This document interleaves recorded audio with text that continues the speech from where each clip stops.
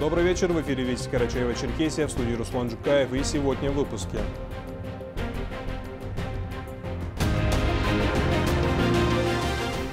Закон о раздельном сборе мусора, как он работает и как правильно утилизировать пластик, батарейки и другие виды отходов. Кто интереснее оформить фасады зданий? В Черкеске стартовал конкурс, по итогам которого определят самые креативные работы.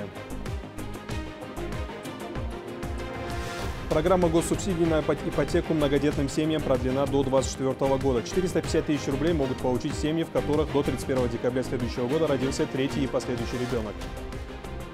Искусство, наука и спорт – все это игра в шахматы. Международный день шахмат юные уже знаменитые ребята показали мастер-класс.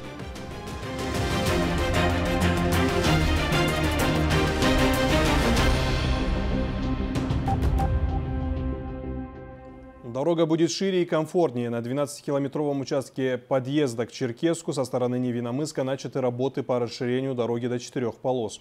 Речь идет об отрезке от съезда в село Садовое до пересечения улиц Ставропольской и набережной Черкеска. Стартовал ремонт мостов через реку Дамбай-Ульген и Аманауз. Глава Карачаева-Черкесии Рашид Тимрезов выразил благодарность руководителю и коллективу Управления федеральных автомобильных дорог «Кавказ» за многолетнее плодотворное сотрудничество. Два года назад в России стартовал переход к раздельному сбору мусора. В рамках программы должны быть оборудованы пункты, оснащенные тарой с маркировкой, обозначающей типы отходов. Система раздельного сбора мусора – это забота об экологии и стимуляция отечественного производителя. Как правильно утилизировать пластик, батарейки и другие виды отходов? Для чего предназначен раздельный сбор мусора и что делают власти республиканской столицы для улучшения экологии? Подробности у Али Баташева.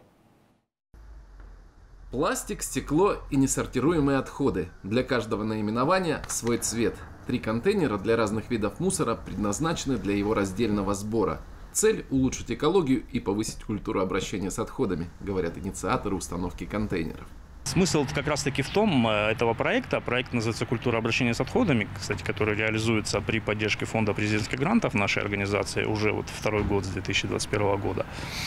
Вот. И смысл этого проекта в том, чтобы э, напомнить человеку, каждому из нас, каждому члену общества о том, что мы ответственны за свои отходы потребления и что, ну, как минимум, что мы можем сделать, это хотя бы сдать, ну, отсортировать их, сдать раздельно и там уже ну, направить на переработку, а дальнейшая их судьба уже, как говорится, ну, в руках переработчика.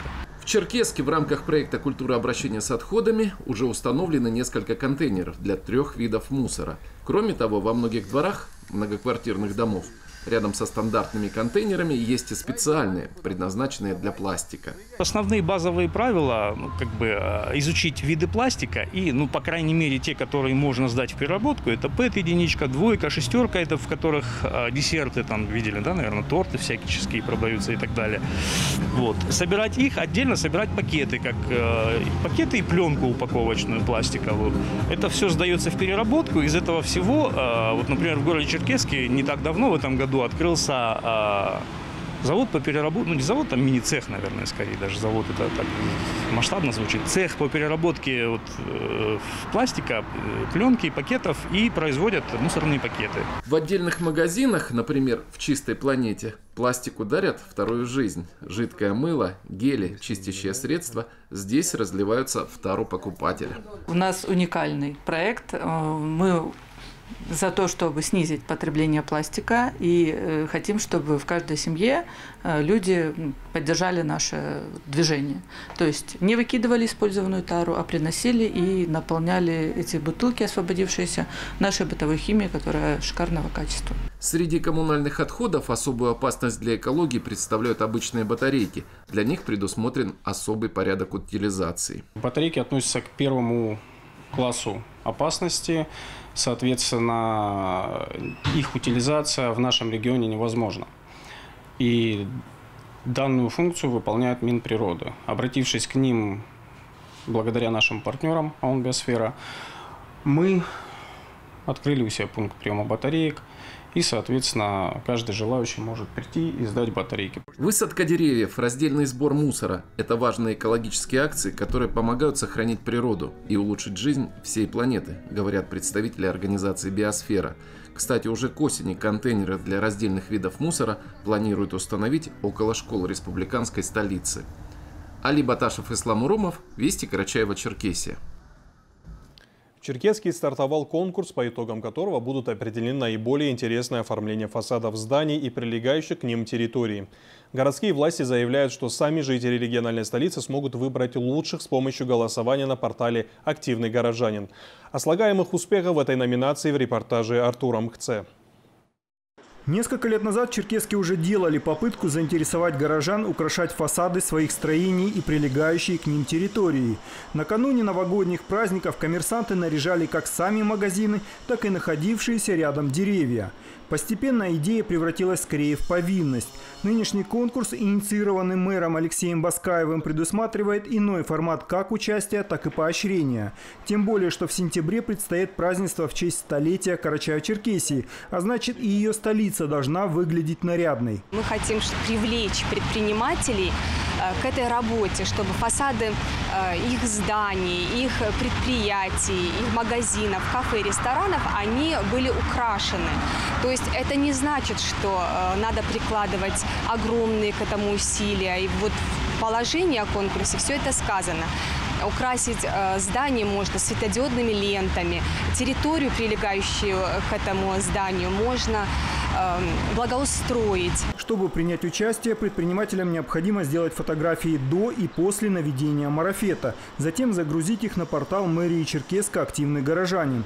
Лучшие будут определены простым большинством отметок от интернет-пользователей. Лауреаты конкурса получат денежные призы от 50 до 100 тысяч рублей.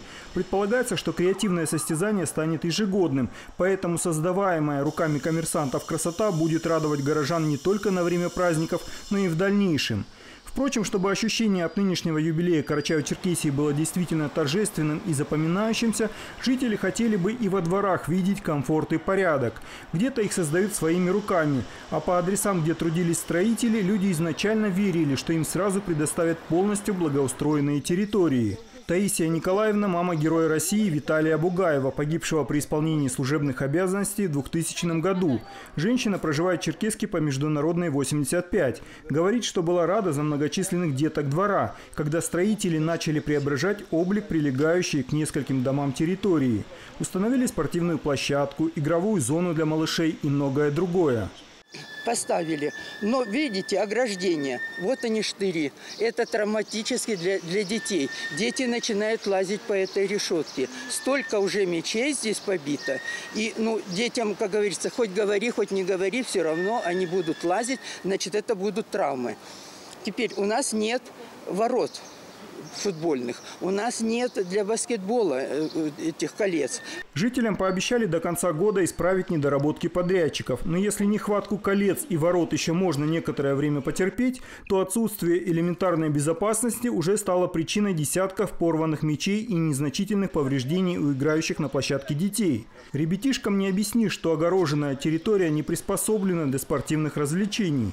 Городские власти постарались оперативно отреагировать на эту проблему и уже через день день после нашего пребывания на Международной 85 сообщили, что отправили на место ремонтников сделать игровую зону безопасной. Впоследствии предполагается создать всю территорию комфортной для населения, в том числе заменить непонятно откуда взявшуюся здесь старую карусель, которая, ко всему прочему, даже не вертится, а также подумать над обустройством тротуаров, которые при реализации проекта куда-то исчезли. Чтобы облик города был красивым и ухоженным, все заинтересованные в этом стороны должны приложить максимум усилий. Все решаемо, было бы желание. Артур Махце, Олег Малхожев, Вести, Карачаево-Черкесия. Сейчас время прогноза погоды, а после мы продолжим выпуск. Не переключайтесь.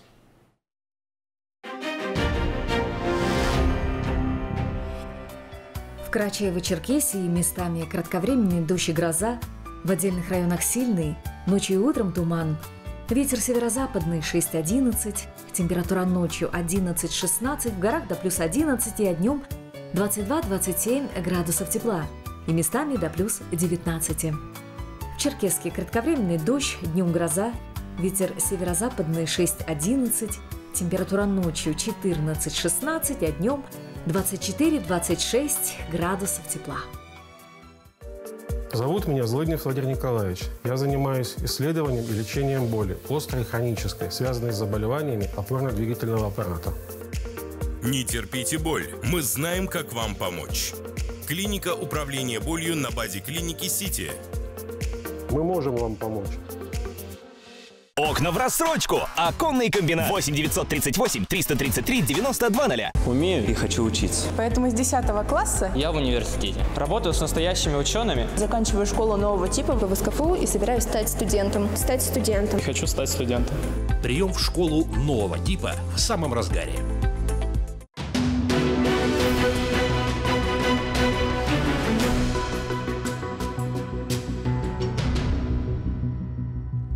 Программа госсубсидий на ипотеку многодетным семьям продлена до 2024 года. Субсидию, предоставляемую государством в размере 450 тысяч рублей на выплату ипотеки, теперь смогут получить семьи, где третий или последующий ребенок родится или будет усыновлен в 2023 году. Прежние правила госпрограммы предусматривали субсидии только многодетным семьям, в которых очередной ребенок появился в период с 19 до 22 года. Данную выплату разрешено использовать в счет э, частичного или полного погашения ипотечного кредита, оформленного до 1 июля 2024 года.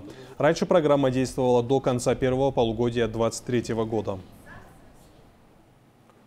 Делать выводы из ошибок, изучить стиль игры соперника – важные правила интеллектуального единоборства, соблюдение которых помогают человеку. Ведь шахматы – модель жизни. Сегодня Международный день шахмат. К этой дате и в рамках празднования столетия Карачаева-Черкесии в республике провели два турнира. Первенство СКФО и этап Кубка России по шахматам в различных возрастных группах. С юными шахматистами и с тренером встретилась Алла Динаева.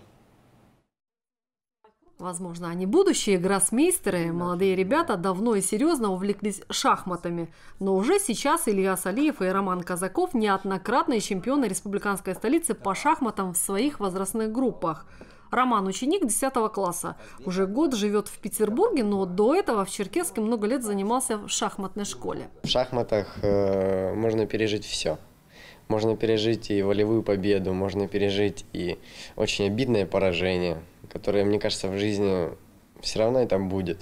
Но мне нравится переживать каждую партию как отдельную жизнь. В пресс-центре ГТРК Карачева-Черкесия состоялась дружеская блиц-игра Романа Казакова с Ильясом Алиевым, который весной уже в третий раз стал чемпионом Черкеска среди 14-летних шахматистов. А занимается он в шахматной школе с пяти лет, куда привел Ильяса отец. Вот ты сегодня показал прекрасную игру. Вот расскажи, как получается вот так играть? Я не знаю. Михаил Юрьевич и Сергей Вячеславович, мои тренеры по шахматам, они привили мне любовь к шахматам, научили меня э, играть. Я считаю, что главное правило в жизни и в шахматах – это всегда перед каким-то действием нужно обдумывать э, поступок. А скажи, дома с кем ты играешь в шахматы? Э, дома я раньше играл с дедушкой и с папой.